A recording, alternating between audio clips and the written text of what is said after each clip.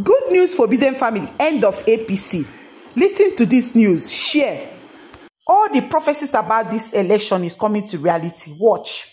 Seven, appoint an interim president for Nigeria that will take over from President Muhammadu Buhari after May 29 by INEC before going through every election action carried out by INEC before, during, and after the presidential elections and discovered that the leadership of INEC did not host an election with the influence of the Electoral Act, but hosted a doctored script already arranged as a selection game plan to make the ruling APC remain in office. These actions are wrong from every aspect of a nation practicing democracy as a system of government. And as a democracy outfit, we in the, we in the VMCII are officially rejecting the outcome of the elections released by INEC as results. And we are only we are the only ones that are fit enough to ask the INEC and the federal government to revert the process, the proceedings of the 2023 presidential elections to a cooking pot of a stillborn child because its process are honestly not accepted by the people and the values of our democracy in general. The world knows that these presidential elections were conducted under a very serious disrespectful disrespect to our citizenry because INEC refused to follow the rules of the game, which provides that voting results were expected to be uploaded at real time, which the world did not see at all.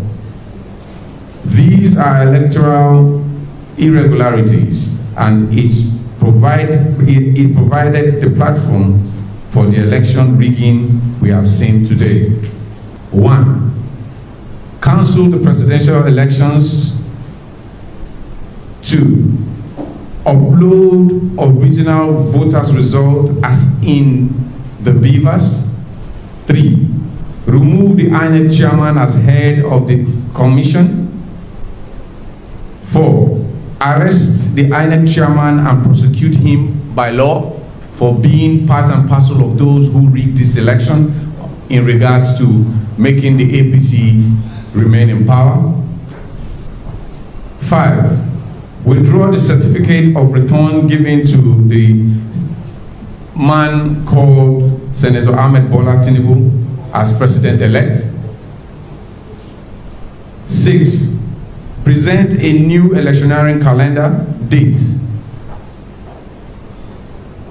for the presidential and National Assembly election in view of the 2023 Electioneering Act by the uh, uh, um, supported by the uh, Electoral Act of the Federal Republic of Nigeria. Seven, appoint an interim president for Nigeria that will take over from President Muhammadu Buhari after May 29, 2023, so that the interim president will finish the will finish the work load that President Muhammadu Buhari is expected to do in May 29. Because if INEC or this federal government agrees to cancel this election, it means that there will be new there will be a new electioneering plan.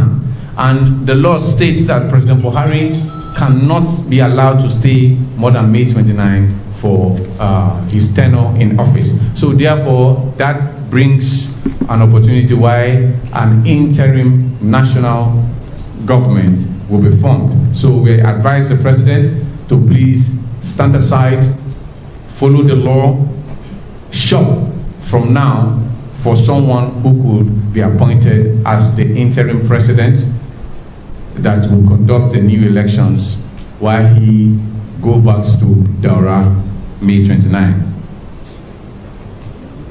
INEC chairman must eight, INEC chairman must apologize to Nigerians for lying to the nation and faking the 2023 presidential election results.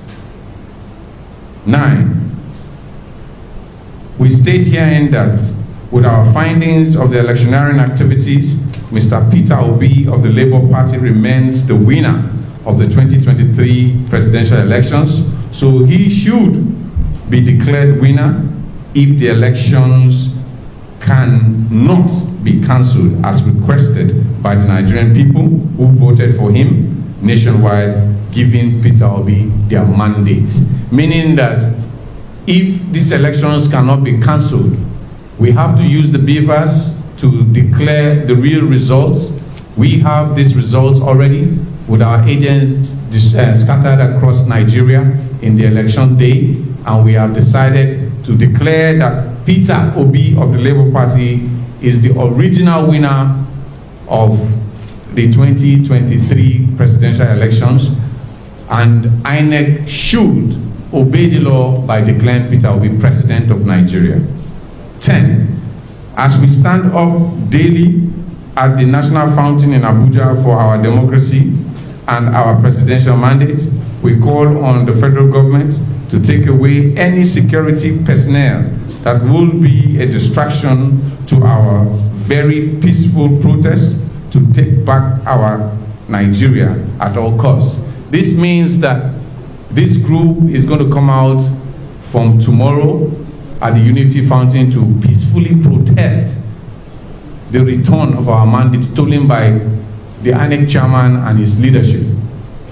Until they return that mandate, either in court or either by cancellation of the elections for another election, will remain there. And we advise and we expect that the security apparatus of the Federal Republic of Nigeria, controlled by President Muhammadu Buhari, should not be a distraction to what we are doing.